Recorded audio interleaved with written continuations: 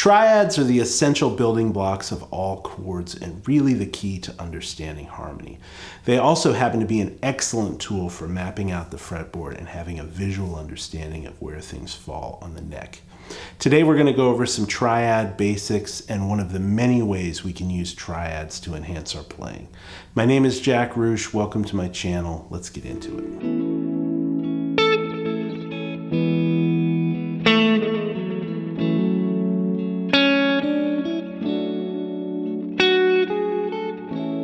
All right, so to start out, a triad is a three note chord consisting of the root, the third, and the fifth.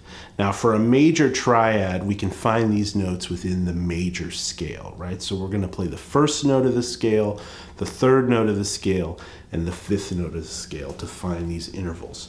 So I'll play an A major scale here. And all we're gonna do is play that first note A, the third note C sharp, and the fifth note E. And those are the notes of an A major triad, right?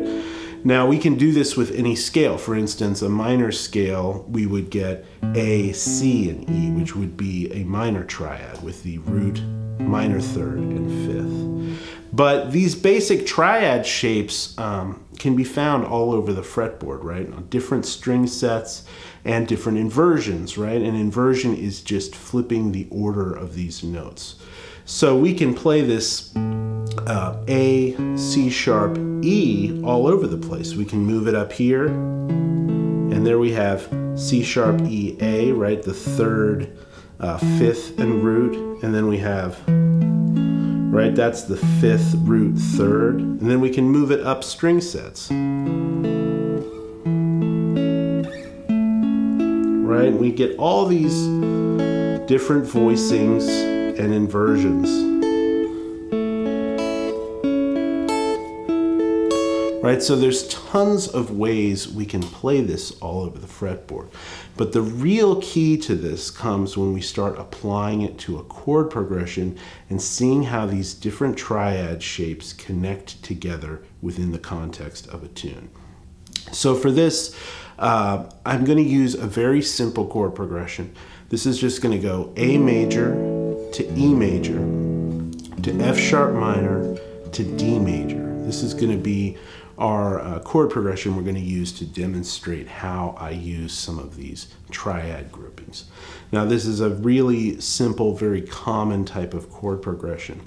Um, but what we're going to do is figure out how we can access these triad shapes in different positions. And this is a really valuable tool for coming up with rhythm guitar parts, especially playing in the context of a band where you might have another guitarist playing um, some lower open chord voicings and you want to just find a guitar part that uh, takes up a different space and works really well in the context of the music.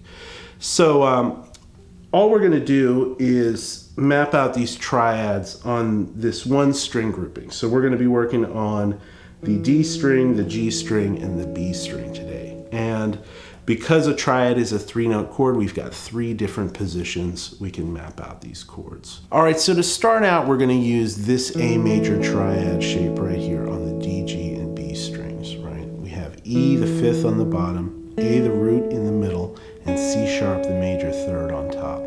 Now the trick from here is to find the nearest triad shape for the next chord in the progression, which in this case is E major. So to find an E major triad, again, we just play the root, third, and fifth of the major scale, the first, third, and fifth notes, right? So E major, the first note is E, the third note is G sharp, and the fifth note is B. So the closest place we can play those three notes on this string set in this position is right here. There's E, G sharp, and an open B string. And moving on to the next chord in the progression, F sharp minor, we can move up here and we have the root, minor third, and fifth of F sharp minor, right? And then to find D, we just move one note, right? And then we have the third, fifth, and root of a D major chord. So all these triads are right next to each other and very closely connected, right? And seeing these connections is really key to coming up with cool rhythm parts uh, to move through these chords. This works really well in the context of a band and especially on electric guitar. Oftentimes you don't have to play uh, big full six string chords. Um, these smaller shapes really work a lot better. And we can tie these triads together since all these chords are diatonic to A major. We can use notes from the A major scale to create little melodic movements between these chords and to come up with fills. So for that, all we have to really know is our A major scale pattern in that position. Right, and then we can start to connect these things.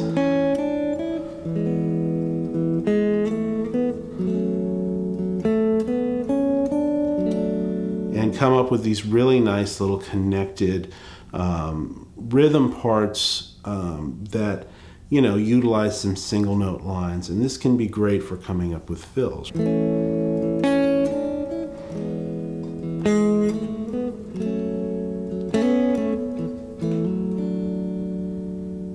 Right so now I'll play through um, this chord progression and I'm going to start out by just playing these basic triads in this position and then I'll play a couple times through connecting them together with some scale notes and creating some fills to give you an idea of how you can use this to come up with rhythm guitar parts.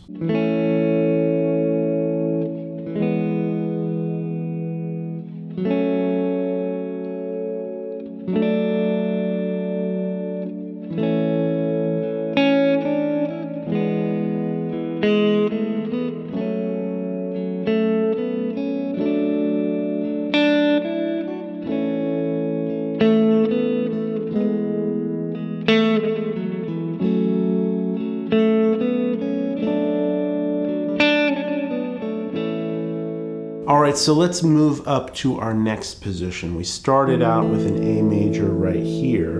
Um, our next voicing for that same triad on this string set is right here. Here we have the root position uh, voicing with the root, major third, and fifth on top. Now to find our E major from here, all we do is just move right down there and we have the third, fifth, and root of our E major chord. And our F sharp minor is right here. We have the minor third, fifth, and root right there. And then our D major is right here uh, with the fifth, root, and major third, right? So all these chords are so closely connected together right here, right? And we don't have to worry about playing big chunky bar chords or open position chords. We've got everything right there at our disposal to use for coming up with rhythm guitar parts. And again, we can create fills by adding notes from the A major scale. And our A major scale position is right here. Right, and so just by using that, we can connect these chords together, right?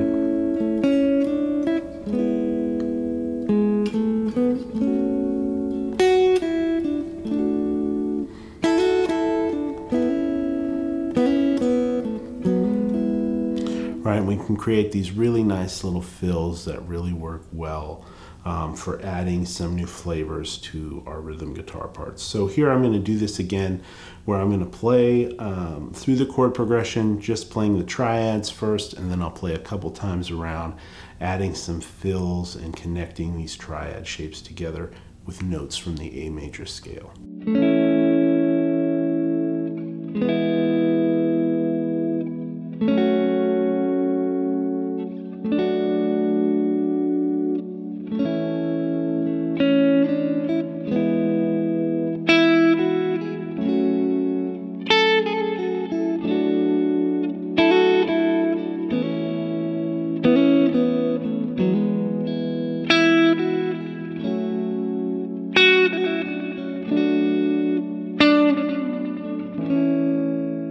All right, so we've got one more batch of triads here, uh, moving from this A major triad. Our final shape is up here, where we have the third, fifth, and root on top, right? So all we're doing is just moving through these different triad inversions for each one of these chords. So A major is here, uh, followed by E major, which is right here, then F sharp minor, right there, and finally D major right there. So again, all these chords are right here, right next to each other. So we don't have to move around or jump around or play big, uh, cumbersome bar chords. We can literally make this progression anywhere we want, right?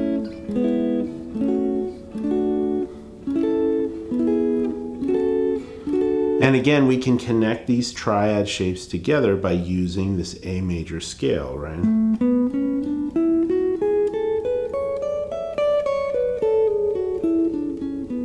Which is right in that position. So just taking this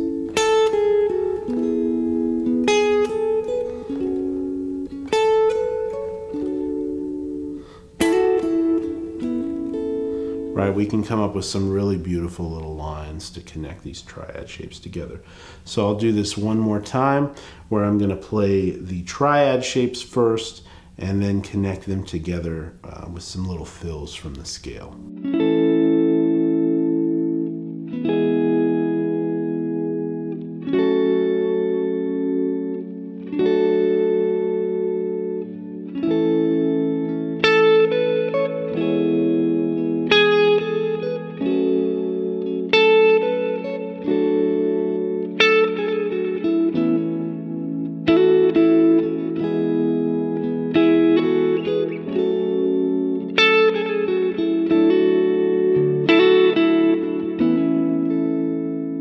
So now that we've got each one of these positions mapped out, we can start to connect them together. It's really good idea to practice these types of things in one position at a time and get really comfortable um, with each position. That way, as you're moving around, um, you're really fluent in every spot on the neck and you have a good handle on it and a good vocabulary of things to play. But once you get comfortable, then it's time to start stringing them together. And that's where you really open up the fretboard and can start playing with some freedom, right? So once we start tying these together, right, we can start moving this around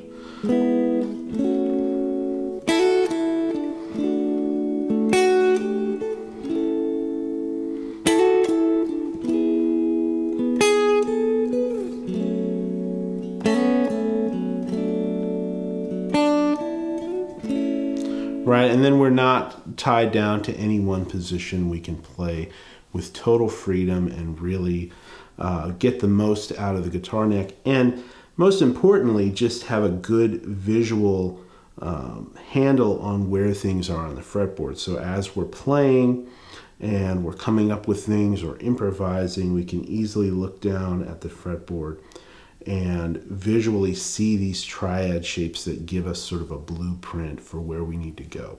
So now I'm going to play uh, again through the track a few times and I'm just going to play freely using all of these triad shapes that we worked through on this one string set and tie them together with some fills um, out of those major scales. And you can get a sense of how I would use this kind of thing in a, a real world context.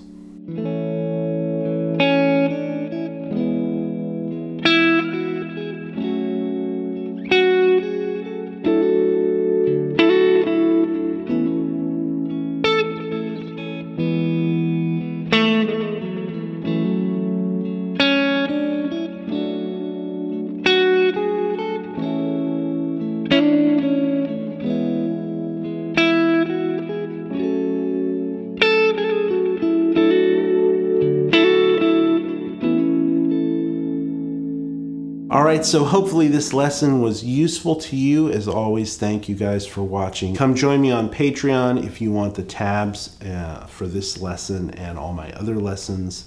As always, thank you for watching. Take care, and until next time, happy practicing.